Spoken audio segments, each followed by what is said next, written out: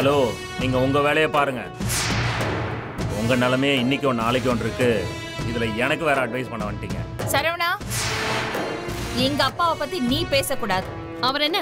உங்க சொந்த அப்பாவா? உனக்கும் அந்த ஆளுக்கும் கல்யாணம் நடந்ததா? ரெஜிஸ்டர் பண்ணிட்டியா? அது எல்லாமே தாண்டி அந்த ஆளுக்கும் உனக்கும் ஏதாச்சும் புள்ளக்குட்டி உண்டா?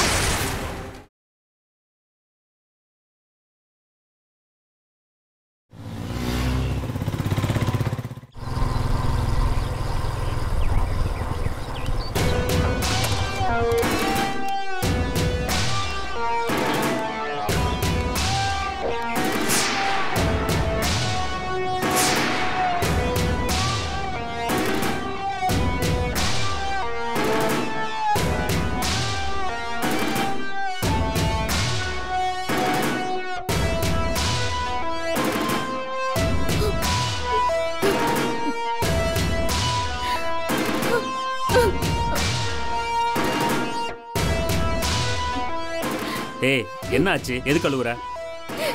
என் தலை எழுத்து எனக்கு இப்படி ஒரு லைஃப் அமையன்னு நான் நினைச்சு கூட பார்க்கல. ரொம்ப கஷ்டமா இருக்கு. என்னாச்சு நட்டாச்சா? எது கழுவுற நீ? ஆனா ஆனந்த் இருக்கால அவ்வளவு கேவலமா பேசுறான் வேண்டாம் சரவணன். இதுக்கப்புறம் நம்ம இங்க இருக்க வேண்டாம். வாங்க ப்ளீஸ் போயிடலாம். ஏய் அந்த ஆனந்திக்கு பயந்துகிட்டு ஓட சொல்றியா? இந்த மாதிரி போட்டி போடுறத பார்த்தா என் மான மரியாதையெல்லாம் மொத்தமா கப்பலேறிடும் போல இருக்கு. அத உங்க குடும்பம் நல்லா வேடிக்கை பார்க்கும். உங்க சிவனியான அண்ணா அமைதியா வேடிக்கை பார்த்தா உங்க இன்னொரு அண்ணன் சண்முகம் ஆர்ப்பாட்டம் பண்ணி அசிங்கப்படுத்துறாரு. உங்க அண்ணி இதெல்லாம் ரசிச்சு பாக்குறாங்க. இதெல்லாம் எனக்கு தேவையா சரவணன்? என்ன நடந்துச்சுன்னு சொன்னாதானே முழுசா எனக்கு புரியும். உங்க முன்னாள் மனைவி இருக்காளே. முன்னாள் மனைவியோ இல்ல இன்னும் மனைவி தானோ ஏய் என்ன பேசுற நீ? அவ தனியா கூப்பிட்டு பேசுறப்போ வாய் மூடிட்டு அமைதியா தானே இருந்தீங்க? முட்டாள்தனமா பேசாத நட்டாஷா. நான் அவகிட்ட சண்டை போடுறதெல்லாம் நீ பார்த்துக்கிட்டு தானே இருக்க? சண்டை போடுறேன் அசிங்கப்படுறேன் எல்லாம் பார்த்தும் இப்படி பேசினா என்ன அர்த்தம்? அதான் சரவணன் அதான் உங்ககிட்ட இருக்கிற பிரச்சனையே. சண்டை போடுறீங்க அசிங்கப்படுத்துறீங்க. ஆனா சில விஷயத்துல எல்லாம் அவளோட அப்படியே ஒத்து போறீங்க. அதான் எனக்கு இருக்கிற பயமே. இப்போ உனக்கு என்ன பிரச்சனை நட்டாஷா? முதல்லலாம் நான் உங்களோட கீப்னு பேசிக்கிட்டு இருந்தா. இப்போ அடுத்த ஸ்டெப்பு போய் உங்களுக்கும் எனக்கும் கல்யாணம் ஆனதுக்கு என்ன ஆதாரம் இருக்குன்னு கேட்குறான் நாலு பேர் கிட்ட உன்னை அவர் பொண்டாட்டின்னு சொல்ல முடியுமான்னு ஓவரா பேசுறேன் இதெல்லாம் தாண்டி உங்களுக்கு புள்ள இருக்கான்னு கேக்குறேன் ஆனா அவ சொல்றது கரெக்ட் தான் சரவணன். குழந்தைன்னு ஒண்ணு வேணும்ல. நமக்குன்னு ஒரு குழந்தை இருந்தது தானே? லீகல் ரிலேஷன்ஷிப்னு சொல்ல முடியும். இப்போ குழந்தைக்கு என்ன அவசரம்? இத பாருங்க. எனக்குன்னு ஒரு குழந்தை பெத்துக்கணும் அதை வளர்க்கணும் அதுக்கு எல்லாம் பண்ணணுங்கிற ஆசை எல்லாம் எனக்கு இது வரைக்கும் இருந்ததில்ல. ஆனா இனிமே என்னால அப்படி இருக்க முடியாது சரவணன். ஏய் அவ சொல்றான்றதுக்கு போய் அப்ப ஊருக்காக தான் குழந்தை பெத்துக்க போறியா நீ? அப்படி இல்ல. நான் இதை யோசிச்சுதான் அப்படி சொல்றேன். இன்னைக்கு எனக்கு சப்போர்ட்டா? என் அப்பா அம்மா இருக்காங்க. ஆனா அவங்களுக்கு அப்புறம் எனக்கு சப்போர்ட்டா எனக்கு ஒரு குழந்தை வேணும்ல. இதோ இத்தனோட பையன். அந்த கார்த்திக். உங்களுக்கும் அந்த ஆனந்திக்கும் பிறந்தவன். அவன் என்னமா பேசுறான்? என்ன விவரம் என்ன திமிரு? ரொம்ப தெளிவா இருக்கான். அவ அப்படி வளர்க்கறா. உங்களை அப்பானோ அவள் அம்மானோ சொல்லி சொல்லி வளர்க்கறா. அவன் மனசுல உங்க ரெண்டு பேரையும் நான் வந்து பிரிக்கிறேங்கிற எண்ணம் ஆழமா இருக்கு சரவணன். ஏய் அவன் சின்ன பையன் அவனை போய். ஓ புள்ளைய சொன்னா பொறுத்துக்க முடியல? அன்னைக்கு அவனை கூட்டிட்டு போனீங்களே அத அவகிட்ட இருந்து பிரிக்கவா? இல்ல உங்க பையன் மேல இருக்கிற பாசத்தினால கூட்டிட்டு போனீங்களா? புரியாம பேசாத நட்டாஷா. அப்படியெல்லாம் என் மனசுல எந்த பாசமும் இல்ல. போதும் சரவணன். எனக்கு ஒரு குழந்தை வேணும் அவ்வளவுதான். ஏய் குழந்தை வேணும் குழந்தை வேணும்னா என்ன செய்ய சொல்ற நீ இப்போ? டாக்டர்கிட்ட போய் தான் பார்க்கணும். வாங்க வாங்க ரெண்டு பேரும் போய் பாப்போம் நான் எதுக்கு வரணும்? என்னது? நான் இதுக்கு வரணுமா? நீங்க வராம? நீங்க தானே புருஷன்? நீங்க தான் வரணும். நாம ஒன்றும் குழந்தை வேணான்னு ப்ரிகாஷன்லாம் எடுக்கலல்ல? அப்புறமும் பிரச்சனைனா டாக்டர்கிட்ட தான் போகணும். ஆமா டாக்டர் கிட்ட தான் போகணும். அதுக்கு தான் உங்களை கூப்பிடுறேன். நான் ஏன் வரணும்? எனக்கு ஏற்கனவே குழந்தை இருக்கு. உனக்கு தான். எது? வாட் டிட் யூ சே என்ன அர்த்தம்? நீங்க ஃபிட் நான் அன்ஃபிட் அதானே? இத்தனை நாளா உங்க மனசுல இதுதான் இருந்திருக்கு சரவணன் இந்த வீட்ல இருக்கிறவங்க தான் என்ன அசிங்கப்படுத்துறாங்கன்னு நினைச்சோம். ஆனா அதையும் தாண்டி நீங்க என்ன அசிங்கப்படுத்துறீங்க.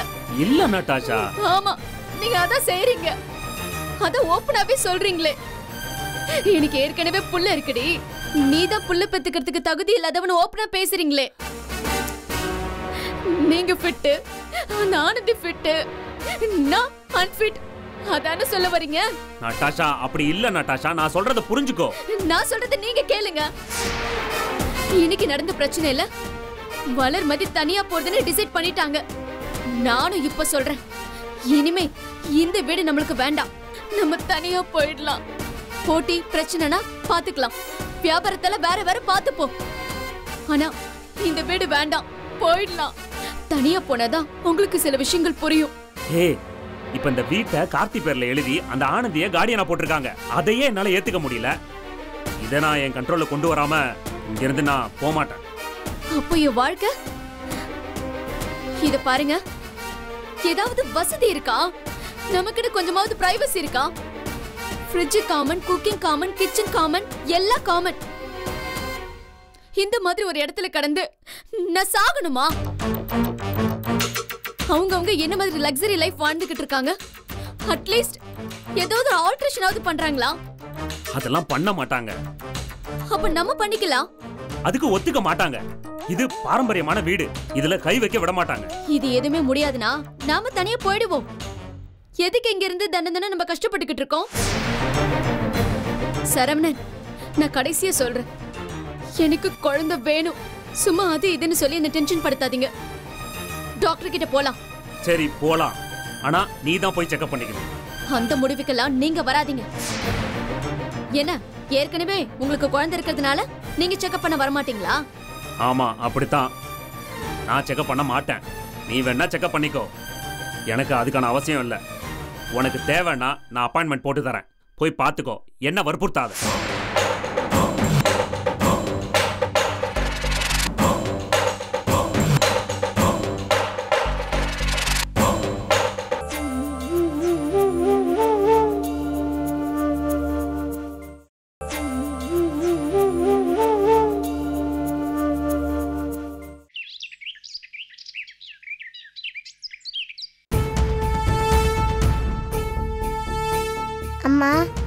டாய்ஸ் வாங்கி தாங்கம்மா ஆமாடி எனக்கு இப்ப அதுதான் முக்கியம். போய் இருக்கிறத வச்சு விளையாடு போ. ப்ளீஸ்மா வாங்கித்தாம்மா வாமா வாமா வந்து வாங்கி கொடுமா ஏய் அதான் சொல்றேன்ல. நான் ஏற்கனவே செம்ம கோவத்துல இருக்கேன். என்ன மேல மேல டார்ச்சர் பண்ணாத. போ போடி வெளியே. என்ன பண்ற நீ? குழந்தைய போய் அடிக்க போற? உனக்கு அவ்வளவுதான் சொல்லிட்டேன். கனகாமா என்னம்மா ஆச்சு? அம்மா டாய் பொம்மை கேட்டதுக்கு அடிக்க வராங்க. வாங்கி தாங்கப்பா ப்ளீஸ்ப்பா சரி. கனகாமா அழக்கூடாது. அப்பா உங்களுக்கு இப்ப என்ன வாங்கிட்டு வந்திருக்கேன் பாருங்க. இந்தாங்க இதை இப்ப சாப்பிடுங்க. அப்பா உங்களுக்கு அப்புறமா டாய் பொம்மை வாங்கிட்டு வரேன். சரியா? சரி போய் விளையாடுங்க போங்க. போங்கடா கண்ணா. ம் போங்க.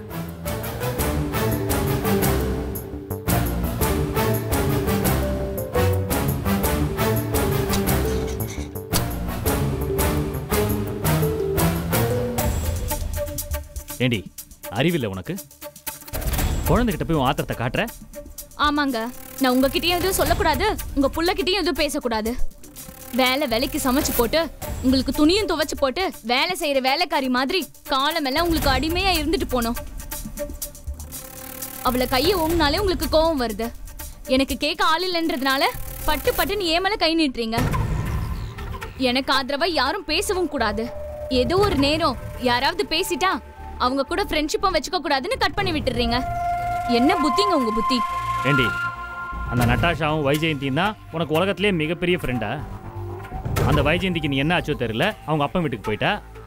இந்த நேரமா பார்த்து இவ மெல்ல மெல்ல ஆரம்பிக்கிறா. இவங்க கூட உனக்கு அவசியம் நட்பு தேவையா? இதே தாங்க நானும் கேக்குறேன். இப்ப எனக்கு பிடிக்காதவங்க கூட. நீங்க ஃப்ரெண்ட்ஷிப் வச்சுக்காதீங்கன்னு சொன்னா கேப்பீங்களா? அப்படி நான் யார் கூட பழகிட்டு இருக்கேன் நீ சொல்ற அளவுக்கு? ஏன் உங்க அண்ணன் உங்க அண்ணி அந்த ஆனந்தி அப்புறம் அவங்க சம்பந்தப்பட்ட எல்லார்கிட்டயும் ஒட்டி உறவாடல? அத வேண்டான்னு நான் சொன்னா நீங்க பேசாம இருந்துருவீங்களா? ஏய் இப்போ அவங்க என்னடி தப்பு பண்ணாங்க? அவங்க எல்லாத்துலயும் நியாயமா தான் நடந்துக்கிறாங்க. ஓ அவங்க நல்லவங்க நியாயமா நடந்துக்கிறவங்க மத்தவங்களாம் கெட்டவங்க மோசமா நடந்துக்கிறவங்களா? நீ விதண்டாவாதமா பேசிக்கிட்டு இருக்க. இப்போ உனக்கு என்ன பிரச்சனை? அதை நேரடியா சொல்லு. அதான் காலையில சொன்னனே. தனி கொடுத்துட்டு போகணுமா? அதை பத்தி இப்போ யோசிக்க முடியாது. அப்ப அன்னைக்கெல்லாம் போயே ஆகணும்னு ஒத்த கால நின்னீங்க? அன்னைக்கு சூழ்நிலை அப்படி இருந்துச்சு. அதனால அப்படி சொன்னேன். ஆனா இன்னைக்கு அப்படி இல்லை. அப்ப என்ன சூழ்நிலை இருந்துச்சு? இப்ப மாறி போச்சு? நீங்க என்ன முறைக்காதீங்க. அன்னைக்கு தனியா போகணும்னு உங்களுக்கு தோணுச்சு. இப்ப அப்படியே மாறிட்டீங்க. ஏய் தனியா போகணும்னு குதிக்கிறியே. தனியா போய் என்னடி பண்றது? அத பிரிச்சு கொடுத்துட்டாங்கல்ல. நம்ம வியாபாரத்தை நம்ம பாப்போம். உண்மையா சொல்றேங்க. தனியா போனாதான் நம்ம நல்ல நிலைமைக்கு வருவோம். இன்னைக்கு எங்க மாமா ரொம்ப மோசமான நிலைமையில இருக்காரு. அந்த இந்திராணி வீட்ல இருந்துகிட்டு இல்லாத அவமானம் எல்லாம் படுறாரு. என்னால அவருக்கு ஒரு உதவி செய்ய முடியல. அதான் கூடவே அவருக்கு ஒரு பையன் இருக்கான்ல. அவன் தான் சரியில்லையே. அது தெரிஞ்ச கதை தானே? அதே பேசிட்டு இருக்கீங்க. அவன் செய்யறான் செய்யல. அது அப்புறம் அவங்க என்ன வளர்த்தவங்க. என்ன நல்லா வளர்த்தாங்களோ இல்லையோ. ஆனா மூணு வேளை சோறு போட்டு துணி வாங்கி கொடுத்தாங்கல்ல?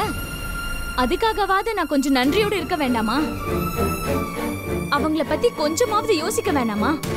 ஆனா நீங்க கீதாக்கு மாப்பிள்ள பாப்பீங்க. அவளுக்கு கல்யாணம் பண்ணி வைக்க எல்லாமே செய்வீங்க. ஆனா அவங்க அப்பா அம்மாவை பத்தி அக்கறை இல்லை உங்களுக்கு. எனக்கு என்னமோ கீதா மேல இருக்கிற அக்கறையில நீங்க செய்யற மாதிரி தோணல. அந்த வீரமணி மேல இருக்கிற கோவத்துல அவருக்கு எதிரா செய்யணும்ன்றதுக்காகவே செய்யற மாதிரி இருக்கு. சும்மா தேவையில்லாம பேசாத வளர்மதி. அந்த பொண்ணு நல்ல பொண்ணு. அதுக்காக அவளுக்காக தான் நான் அதெல்லாம் செய்யறேன் ஆமா அப்படியே வானத்துல இருந்து குதிச்சுட்டு வந்துட்டா அவ. அவ அவங்க அப்பா அம்மா கூட தானே இருக்கா? இப்போ என்ன பண்ணணுங்கிற? இங்க பாருங்க. என்னால புள்ளையும் பாத்துக்கிட்டு வேலையும் செய்ய முடியாது. எனக்கு உதவிக்கு ஆள் வேணும். அந்த ஆனந்தி வெறும் பத்தாவது படிச்சதுக்கே அந்த ஆட்டம் போட்டுக்கிட்டு வேலைக்கு போறா. ஏன்? நாங்கள வேலைக்கு போக மாட்டோமா? இல்ல எங்களுக்கு வேலை வராதா? நானும் உங்க கூட வந்து ஒத்தாசையா இருக்கணும்னு நினைக்கிறேங்க. அதுக்கு இப்போ என்ன அவசியம் வந்துச்சுன்னு கேட்குறேன் ஏங்க நான் என்ன கடைசி வரைக்கும் சோறு பொங்கி போட்டே செத்துறணும்னு நினைக்கிறீங்களா? சமைக்கிறது தான் உன் பிரச்சனைனா சமைக்காத. ஹோட்டலில் கூட வாங்கி சாப்பிட்டுக்கலாம். அப்போ உங்க புள்ளைய வளர்க்கறதுக்கு மட்டும் நான் ஆளா? ஓஹோ. பிள்ளைய வளர்க்குறது உனக்கு கஷ்டமா இருக்கா? சரி விடு. நான் பார்த்துக்கிறேன் என் பிள்ளைய நான் ஆள் வச்சு வளர்த்துக்கிறேன். சும்மா நீங்க வீம்புக்காக பேசுறீங்க. இப்போ இந்த நிமிஷம் உங்க குழந்தைக்கு என்ன வேணும்னு உங்களுக்கு தெரியுமா? நீ தானடி இப்போ போட்டி போடுற? பார்த்துக்கோன்னு சொன்னா நான் ஆளான்னு கேட்குற சரி பார்க்காதேன்னு சொன்னா உங்களுக்கு என்ன தெரியும்னு பேசுற? ஆமாங்க உங்களுக்கு தெரியாதுங்க. நம்ம புள்ளைய பத்தி உங்களுக்கு எதுவும் தெரியாது. அவளுக்கு என்ன மருந்து எப்ப கொடுக்கணும்? தடுப்பூசி போட்டாச்சா? இந்த மாசம் டாக்டர் கிட்ட போகணுமா? எல்லாமே நான் சொன்னாதான் உங்களுக்கு ஞாபகத்துக்கே வரும். இதெல்லாம் தெரிஞ்சுக்கணும்ன்ற எண்ணம் கூட உங்களுக்கு கிடையாது. எல்லா ஆம்பளையும் இப்படிதானே? புள்ள வளர்ந்துட்டா மட்டும் அது ஏன் புள்ள ஏன் புள்ளன்னு பெருமைப்பட்டுக்க வேண்டியது. அவ குழந்தையா இருக்கும்போது கவலையே கிடையாது. என்ன கேட்டாலும் அதான் நீ இருக்கே. நீ பாத்து பண்ண பொறுப்பை தட்டி கழிக்கிறது. இப்போ என்னடி செய்யணுங்கிற? புள்ள விஷயத்துல இதை நீ செய் இதை நீ செய்யாதுன்னு கணக்கு பார்த்துட்டு செய்ய முடியாது. கணக்க பார்த்து செய்ய முடியாதுன்னா மொத்த கணக்கையும் ஏன் மேல தள்ளி விடாதீங்க எனக்கு தனியா போகணுங்க. இதே வீட்ல இதுக்கு மேல என்னால காலம் தள்ள முடியாது. எனக்கு என் புள்ளைய சுதந்திரமா நான் ஆசைப்படுற மாதிரி வளர்க்கணும். என்ன வளர்த்த அத்தை மாமாவை கூட வச்சுக்கணும். வேணும்னா ஒண்ணு செய்யுங்க. நீங்க உங்க இஷ்டப்படியே இதே வீட்ல இருங்க. எங்களுக்கு ஒரு வீடை பார்த்து கொடுத்துருங்க. நான் என் புள்ள எங்க அத்தை மாமா எல்லாரையும் கூட்டிட்டு நான் அங்க போயிடுறேன். ஓஹோ. அப்ப அந்த சுரேஷ் சார் அவர் அங்கதான் இருப்பாரோ? சரி அவ வேண்டாம் அவ அவன் பொண்டாட்டியோட அவங்க மாமியார் வீட்ல கூட இருந்துக்கிட்டோம் அவனை நான் கூப்பிட போறது இல்ல என் மாமா என் அத்தை என் கூட இருப்பாங்க. என் புள்ளைய பாத்துப்பாங்க அவ்வளவுதான். ஏன்டி இப்படி படுத்துற? இதுதான் நீங்க எனக்கு செய்யற குறைஞ்சபட்ச உதவியா நான் கேக்குறேன். இதையும் செய்ய முடியலன்னா விட்டுருங்க. நான் பாத்துக்கிறேன்.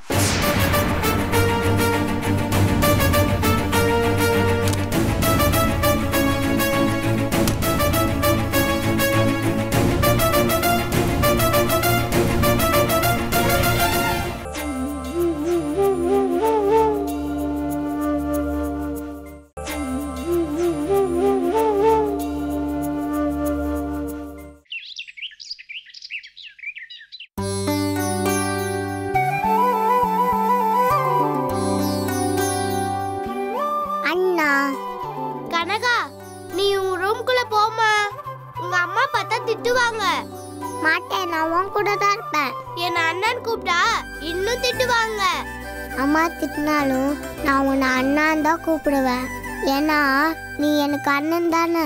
அண்ணன் தான் ஆனா அண்ணன் கூப்பிட்டா திட்டுவாங்களே. ஏன் பெரியவங்க இப்படி இருக்காங்க? தெரியலையே. நாமளும் பெரியவங்களாகனா இப்படிதான் சண்டை போடுவோமா?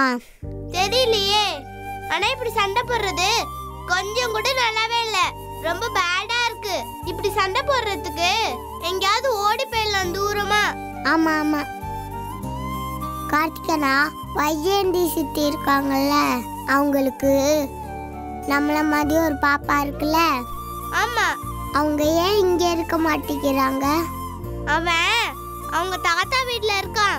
ஓஹோ. ஏன் கார்த்தியனா உங்க தாத்தா வீடு எங்க இருக்கு? தெரியலையே. ஆனா தாத்தாக்கு உடம்பு சரியில்லை.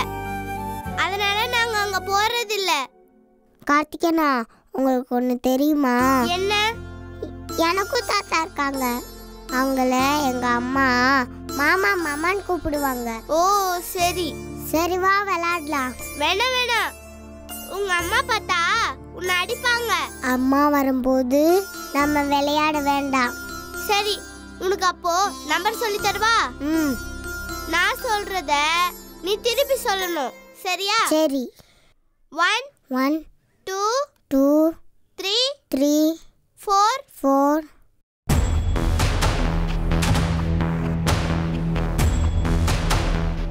ஏய் இங்க என்னடி பண்ணிட்டு இருக்க சும்மாவே இருக்க மாட்டியா நீ? அவன் கூட பேசக்கூடாதுன்னு சொல்லியிருக்கேன்ல பேசினா என்னவா? பேசக்கூடாதுன்னா பேசக்கூடாதுதான். அவங்களுக்கும் நம்மளுக்கும் சண்டை. என்னம்மா சண்டை? ஏம்மா சண்டை போடணும்? பெரிய மனுஷி மாதிரி கேள்வி கேட்டுட்டே இருந்த உத வாங்குவேன் அப்போ வைஜாண்டி சித்தி? அவங்க நம்மளுக்கு ஃப்ரெண்ட்ஸ் அவங்க மட்டும் என் ஃப்ரெண்டு அப்போ மற்றவங்களாம் கனகா தேவையில்லாத கேள்விலாம் கேட்காத. நான் சொல்றத மட்டும் செய். பேசாம உட்காந்துட்டு இருக்கணும் நான் துணி துவைக்க போறேன். வர வரைக்கும் அமைதியா இருக்கணும். ஏதாவது வம்பு பண்ண கைய உடைச்சிடுவேன் புரியுதா?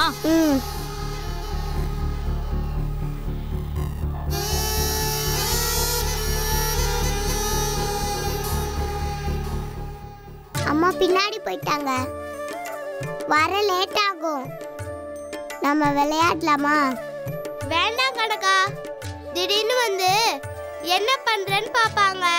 நாம விளையாடணும்னா உன்னை அடிப்பாங்க என்ன திட்டுவாங்க? வேண்டாம் வேண்டாம். வரமாட்டாங்கண்ணா. வேண்டாம் கணக்கா என்னடா என்ன வேண்டாம்? என்ன விளையாடுறீங்க? கனகாவும் நம்பர் சொல்லிட்டு இருந்தோம் பெரியம்மா. ஆ. அப்போ வளர்மதி பெரியம்மா வந்து என்ன திட்டினாங்களா? எப்படி கண்டுபிடிச்சீங்க பெரியம்மா? ஆ? உங்க அம்மா திட்டலைன்னா தான் அதிசயம். சரி அது இருக்கட்டும். உங்க ரெண்டு பேருக்கும் என்ன வாங்கிட்டு வந்திருக்கேன் தெரியுமா? இருங்க. பிடிச்சுக்கோ. உனக்கும். பெரியம்மா. தேங்க்யூலாம் நீங்க சொல்லக்கூடாது என்ன? இவனுக்கு? பெரியம்மா நம்ம எல்லாம் சேர்ந்து விளையாடலாமா? சரி விளையாடலாமே. பெரியப்பா நீங்களும் வரீங்களா? ம் அதை விட எனக்கு என்ன வேலை? வரேன் சொல்லுங்களா? ம், என்ன விளையாடலாம்? ஏன் பெரியம்மா நீங்க சின்ன புள்ளையா சொல்லி தந்திருக்காங்க? நான் படிக்கும்போது கேர்ள்ஸ் விளையாட்டு சொல்லி கொடுத்தாங்க. ஆனா நாங்க ரெண்டு பேரும் கேர்ள்ஸ் இருக்கோம். நீங்க ரெண்டு பேரும் பாய்ஸ் இருக்கீங்களே? அப்புறம் எப்படி விளையாட முடியும்? என்ன கேம் தெரியுமா? அதுவா? அது பல்லாங்குழி. சோழி அப்புறம் பாண்டி. இதெல்லாம் விளையாடுவோம். அப்போ அதெல்லாம் விளையாடுவோம். ம் விளையாடலாம். ஆனா இங்க விளையாட முடியாதே. அப்போ கதையாவது சொல்லுங்க பெரியமா ஐயோ. என்ன கதை சொல்லலாம்? சரி. சொல்றேன். ஒரு பெரிய காடு இருந்துச்சாம் ஆ. காடுன்னா என்ன பெரியமா காடுன்னா அங்க நிறைய மரங்கள்லாம் இருக்கும். அனிமல்ஸ்லாம் இருக்கும். அங்கெல்லாம் மனுஷங்களே இருக்க மாட்டாங்க. அப்போ அவங்க எல்லாரும் சந்தோஷமா இருப்பாங்களா பெரியமா ஆமா. மனுஷங்க இருந்தா தானே பிரச்சனை. மனுஷங்களே இல்லைன்னா சந்தோஷமா தான் இருப்பாங்க. சரி பேசிக்கிட்டே இருந்தீங்கன்னா கதையை கேளுங்க. அந்த காட்டுல நாலு மாடுங்க இருந்துச்சு. அதுங்க நல்லபடியா ஒத்துமையா சந்தோஷமா இருந்துச்சாம். அப்புறம் ஒரு நாள் அந்த காட்டுக்கு புதுசா வேற காட்டுல இருந்து ஒரு பெரிய லைன் வந்துச்சாம். லைன்னா என்னன்னு தெரியுமா கனகா உனக்கு? தெரியும். சிங்கம். ஓ வெரி குட் சமத்த சொல்லிட்டியே. அந்த சிங்கம் இந்த காட்டுக்குள்ள வந்து இந்த மாடுங்களை எல்லாம் பார்த்துச்சான் அந்த மாடுங்கெல்லாம் சந்தோஷமா இருக்கிறத பார்த்து ஆஹா இந்த மாடுங்கெல்லாம் நல்ல கொழு கொழுன்னு ரொம்ப அழகா இருக்கே. இத நாம ஏன் அடிச்சு சாப்பிடக்கூடாதுன்னு அது யோசிச்சுச்சான் ஐயோ அப்போ அதை அடிச்சே சாப்பிட்டுடுச்சா? அதெல்லாம் இல்ல. நாலு மாடுங்களும் ஒத்துமையா இருந்ததுனால அதுங்களை அட்டாக் பண்ண வந்த லைன் இருக்குல்ல அதை அடிச்சு விரட்டி விட்டுருச்சான் மாடு சிங்கத்தோட பெருசா? அந்த மாதிரி இல்லம்மா. இந்த நாலு மாடுங்க இருக்காங்கல்ல அதுங்கெல்லாம் ஒண்ணா சேர்ந்ததுனால அந்த சிங்கத்தால ஒண்ணும் பண்ண முடியலையா அதான் ஓடி போச்சு போன சிங்கம் இந்த மாடுங்களையே குறி வச்சு வெயிட் பண்ணிக்கிட்டு இருந்துச்சான் ஒரு நாள் ஒரு நரி அந்த சிங்கத்துக்கிட்ட வந்துச்சான் ராஜா ராஜா என்னாச்சு? நீங்க ஏன் இவ்ளோ டல்லா இருக்கீங்கன்னு சொல்லி கேட்டுச்சான் அதுக்கு அந்த சிங்கம் நான் இந்த காட்டுக்கே ராஜா. ஆனா என்னால இந்த மாடுங்களை ஒண்ணுமே செய்ய முடியலையேன்னு கோபம் வந்துச்சான் அப்ப அந்த நரி சொல்லிச்சான் ராஜா நீங்க என்ன அடிச்சு சாப்பிடாம இருந்தீங்கன்னா நான் உங்களுக்கு ஒரு ஐடியா கொடுக்கறேன்னு அந்த நரி சொல்லிச்சான் உடனே அந்த சிங்கம் சரி நான் உன்னை கொல்லவே மாட்டேன். நீ உன் ஐடியாவை சொல்லுன்னு கேட்டுச்சான் அதுக்கு அந்த நரி அந்த மாடுங்கள்லாம் ஒத்தமையா இருக்கிறதுனால தானே அதுங்கள உங்களால எதுவுமே பண்ண முடியல அடிச்சு சாப்பிட முடியல. அதுங்கள தனித்தனியா பிரிச்சுட்டோன்னா? அதுக்கப்புறம் உங்களுக்கு சூப்பர் விருந்து தான் அப்படின்னு சொல்லி நரி சிங்கத்தை ரொம்ப ஏத்தி விட்டுச்சான் அதுக்கு அந்த சிங்கம் எப்படி இந்த மாடுங்களை எல்லாம் பிரிக்கிறது? அதுங்க தான் இவ்வளவு ஒத்துமையா இருக்கேன்னு சொல்லி யோசிச்சுது. அதுக்கு அந்த நரி நீங்க எதுவும் கவலைப்படாதீங்க. அந்த வேலைய நான் பாக்குறேன்னுச்சான் அந்த மாடுங்க கிட்ட போய் தனித்தனியா பேசி ஒவ்வொரு மாட்டுக்கிட்டயும் மத்த மாடுங்களை பத்தி ரொம்ப மோசமா சொல்லி சொல்லி அந்த மாடுங்களோட ஒத்துமையை கலைச்சி பிரிச்சு வச்சிருச்சான். இதுதான் சான்ஸ்னு அந்த சிங்கம் எல்லா மாடுகளையுமே கொன்னு சாப்பிட்டுருச்சு. ஐயோ மாடெல்லாம் செத்து போயிருச்சா? ஆமா செல்லம் எல்லா மாடுங்களும் செத்து போயிடுச்சு. சரி இந்த கதையில இருந்து என்ன தெரியுது? அந்த மாடுங்கெல்லாம் ஒன்னா ஒத்துமையா இருந்திருந்தா அது செத்துருக்காதுல. சண்டை போட்டதுனால தானே செத்துருச்சு? ம் ஆமா.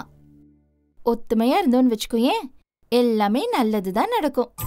இல்ல இப்படியே சண்டை போட்டுட்டு இருந்தோன்னு வச்சுக்கோயேன் இப்படிதான் தப்பு தப்பா நடக்கும். சண்டை போடாம இருக்கணும். ம், ஆமாடா செல்லம். நம்ம சண்டை போடாம ஒத்துமையா இருந்தோம்னா சூப்பரா இருக்கும். சூப்பர் கதை பெரியம்மா.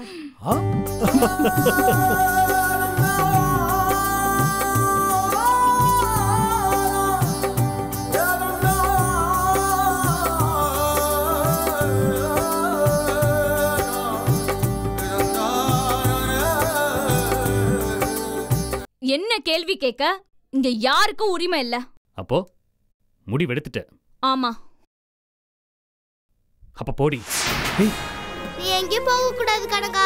இங்கே இரு. அதெல்லாம் முடியாது அண்ணா எங்க அம்மா கேட்கவே மாட்டாங்க. யார்கிட்டயாவது போய் நீதான் சரவணன் பொண்டாட்டின்னு உன்னால சொல்ல முடியுமான்னு கேக்குறான் உங்க ரெண்டு பேரோட கல்யாணத்துக்கு அடையாளமா உங்களுக்கு ஒரு குழந்தை இருக்கான்னு கேக்குறா டேஷ்